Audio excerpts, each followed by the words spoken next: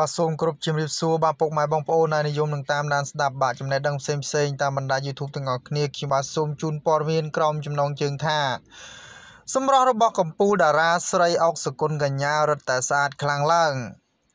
បាទនិយាយអំពីឈ្មោះកម្ពុជាតារាចម្រៀងបាទប្រចាំផលិតកម្មរស្មីហងមាអ្នកនាងអុកសុគន្ធកញ្ញាបាទលោកអ្នកប្រកាសជាស្គាល់ច្បាស់ចាក់ជាមិនខានថាជាតារាស្រីដែលមានសម្លៀងបាច់សម្លេងពីរោះ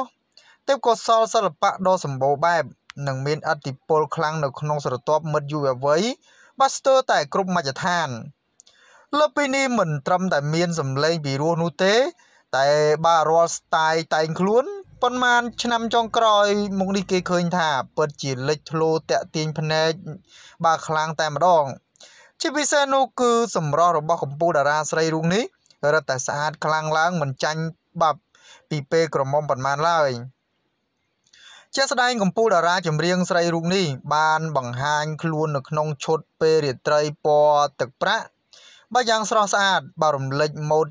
បាទចំហទ្រូងបូករួមទៅនឹងរាងបាទដ៏ slim ទៀតនោះ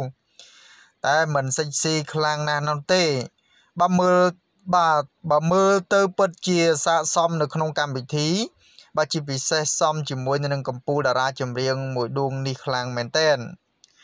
បាទដូច្នេះព័ត៌មានគឺមានតែប៉ុណ្ណឹងដើម្បីកុំឲ្យបងប្អូនរងចាំយូរសូមមេត្តា like និង subscribe ទៅកាន់ channel របស់ខ្ញុំបាទដើម្បីទទួលបានព័ត៌មានថ្មីៗបាទសូមអរគុណសូមជម្រាបលា